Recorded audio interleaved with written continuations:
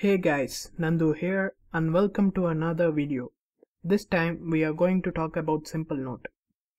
It's one of the best note-taking apps available and it's a great alternative to Evernote and OneNote. Now the good news is Simplenote has released an app for Linux. Just go to simplenote.com and download the .deb file. As you can see I have already downloaded. It.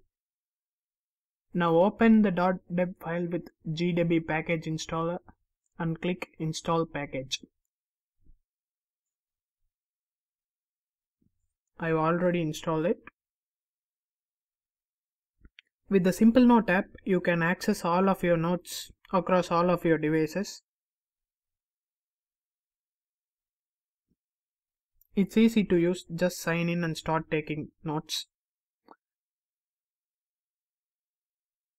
The Simplenote app consumes about 75 to 80 MB of RAM. For an app that only handles text-based notes, that's a little bit on the higher side.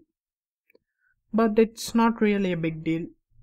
Finally, we have a note-taking app that you can use across all of your devices. Thanks for watching.